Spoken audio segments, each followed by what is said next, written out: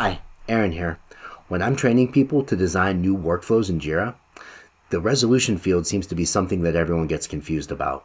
That's the field that tracks the close reason for your issues. And when you're designing workflows, it's your job to make sure that field stays up to date. So in this video, I'm going to give you five tips for effectively managing resolutions in your workflows. What happens if you don't effectively manage resolutions? Well, your project's reporting is going to be all off for two reasons. Number one, Jira uses resolution not status, to determine if an issue is closed or resolved. And two, if you're managing defects or anomalies, the resolution field is going to contain a lot of important data for your quality system. Tip number one, have your workflow automatically set the resolution when an issue is closed or approved. Here's a story in Jira that's ready to be routed for approval. And if I submit for approval, and apply my signature.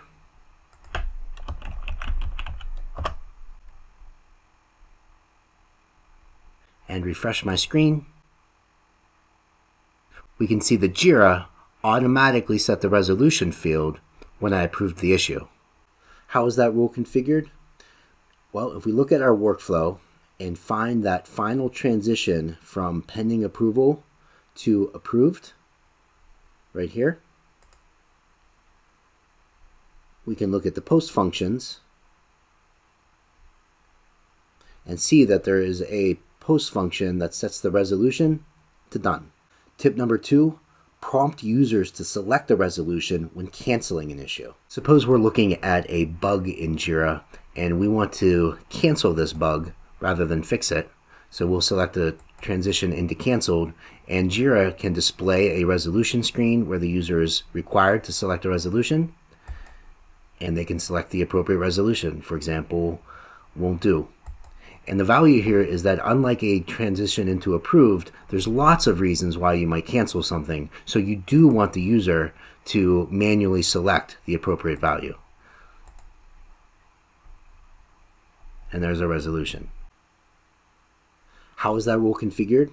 Well, if we look into our workflow and we find the transition from in progress to cancel, Here's our cancellation transition.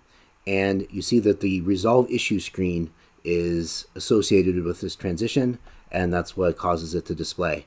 And you can create your own custom resolution screens or you can edit the systems resolution screen.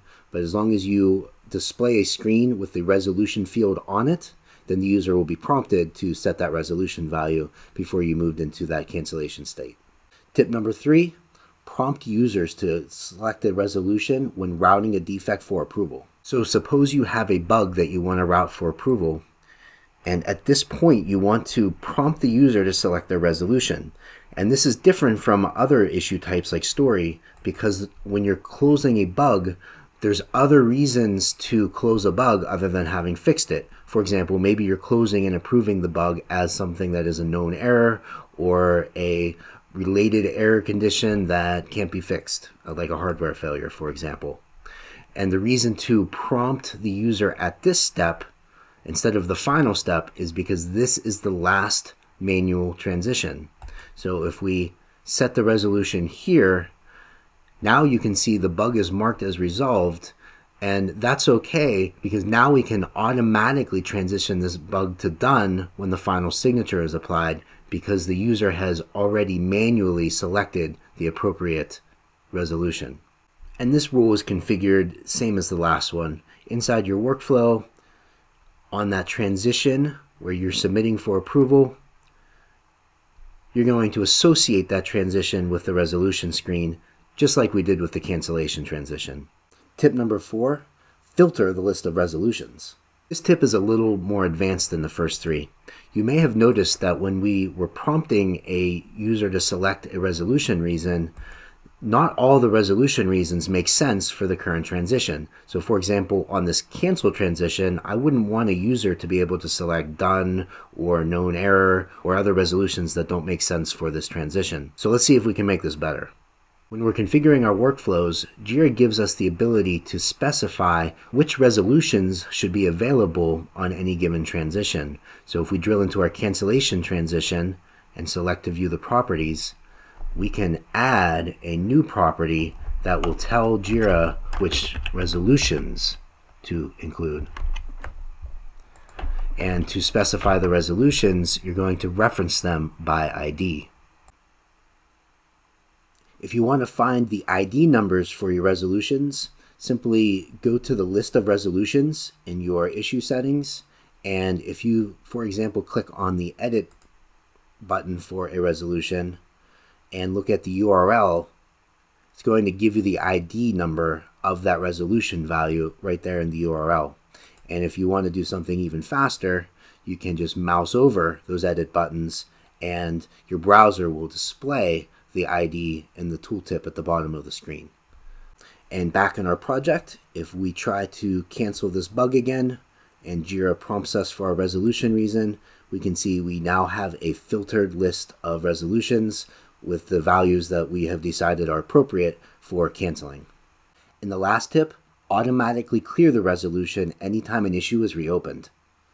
For example, let's say you want to reopen this approved story by revising it. You can see it currently has a resolution set. And of course, if you reopen this back to an unresolved status, you're going to want the system to automatically clear that resolution value out. And that rule is configured using a post function, same as the rule that automatically sets the resolution value. So if you drill into your revise transition, you see there is a post function that clears the resolution.